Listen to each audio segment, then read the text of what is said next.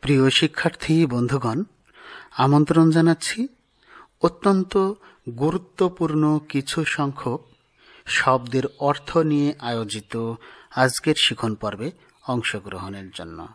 অর্থাৎ আজকের শিখন পর্ব শব্দার্থ নিয়ে। তো চলুন আমরা শিখনে প্রবেশ করি।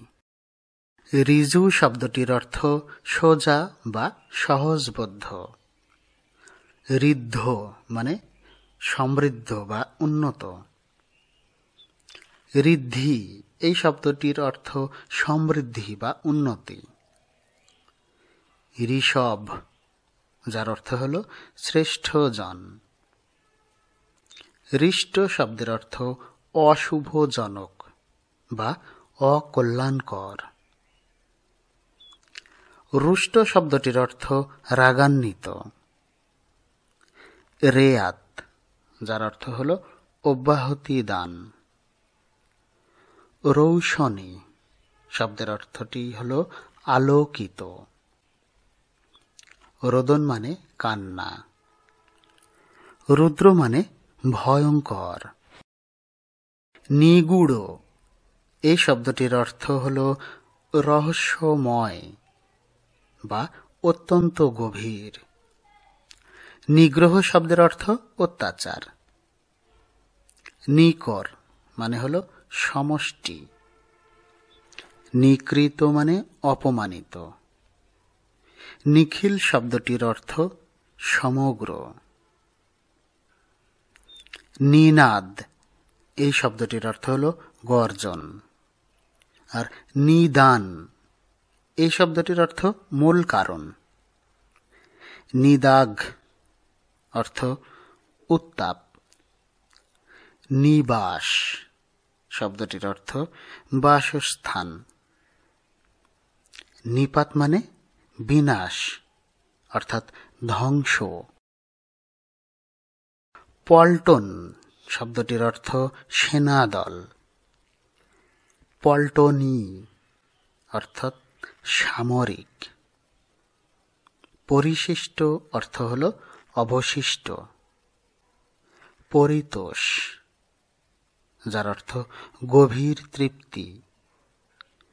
পরাকৃত শব্দটির অর্থ অবহেলিত। পঙ্কিল মানে কাদাময়।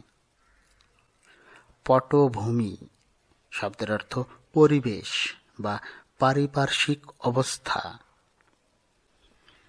পঠিতব্য অর্থাৎ যা পাঠ করতে হবে। পঠিত শব্দটির অর্থ যা পাঠ করা হয়েছে। আর পঠন, এই শব্দটির অর্থ অধ্যয়ন। ফলিত শব্দটির অর্থ সত্যরূপে প্রমাণিত। ফলিতার্থ, এই শব্দের অর্থ হল সারাংশ। ফিকির মানে অনুসন্ধান।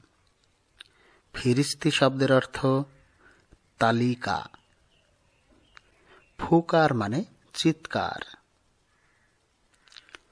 ফুলকি মানে অগ্নিকণা। ফৌজদার শব্দটির অর্থ সেনাপতি। ফৌজদারি শব্দের অর্থ অপরাধ সংক্রান্ত।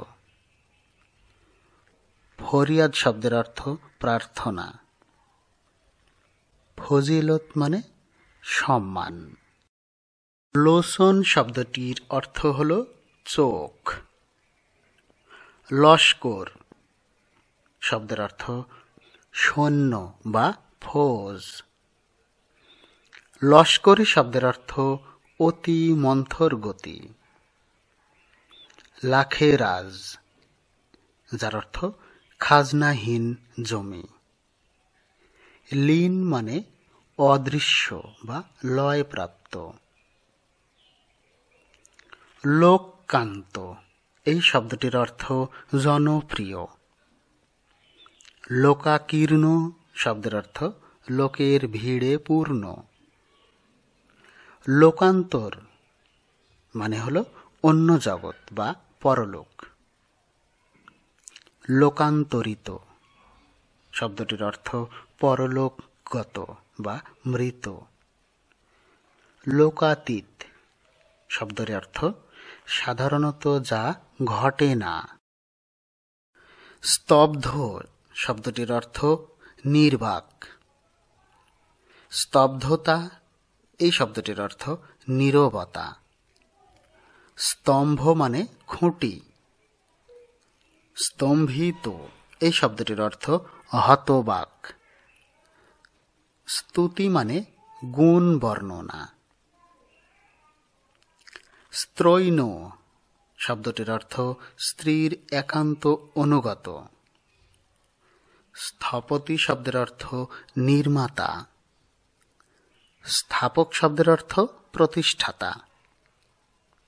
স্থাপত্য, যার অর্থ হল স্থপতির কর্ম। স্থাবর মানে যা স্থানান্তরিত করা যায় না। হিমাংশু শব্দের অর্থ চাঁদ। হিমাদ্রি মানে হিমালয় পর্বত শ্রেণি। হিরণ্য, এই শব্দটির অর্থ স্বর্ণ বা সোনা। হুজ্জত শব্দের অর্থ গোলমাল। হুতাসন যার অর্থ হল আগুন। হেকমত।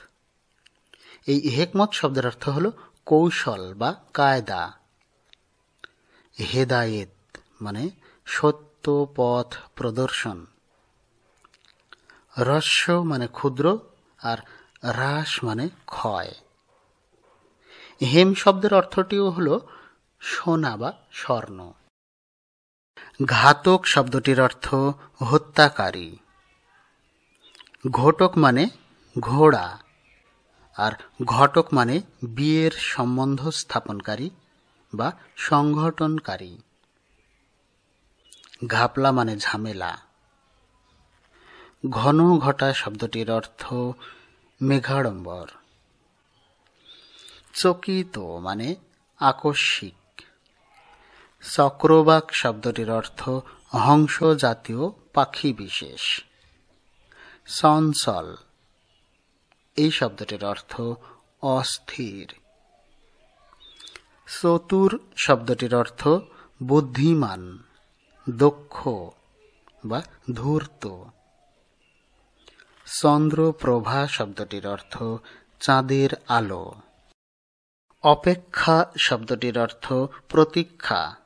ভরসা, এরকম।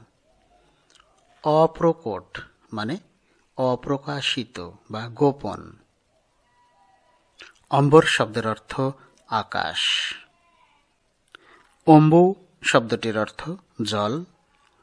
অম্বুধি শব্দের অর্থ সমুদ্র। উপেক্ষা, যার অর্থ হল অবহেলা। উপহাস শব্দটির অর্থ অবজ্ঞা বা ঠাট্টা। উপাখ্যান, এই শব্দটির অর্থ মূল কাহিনীর অন্তর্ভুক্ত ক্ষুদ্রতর গল্প। উপমন্ত্রী, যার অর্থ হল সহকারী মন্ত্রী। উপক্রম শব্দটির অর্থ আরম্ভ বা সূত্রপাত। স্বায়ত্ত শব্দটির অর্থ নিজের নিয়ন্ত্রিত। স্বায়ত্ত শাসন মানে নিজের দ্বারা পরিচালিত শাসন। স্বায়ত্তীকরণ, এই শব্দটির অর্থ নিজের নিয়ন্ত্রণে আনা। স্বাধিকার শব্দটির অর্থ নিজের অধিকার। স্বাদেশিকতা শব্দের অর্থ স্বদেশ প্রেম।